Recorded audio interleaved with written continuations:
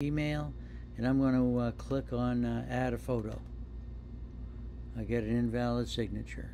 Alright, so I go back and I try to upload a photo from here. I get a follow through invalid signature. Well, I go leave a tip. Invalid signature. Write a review. Invalid signature. This is getting very frustrating, guys.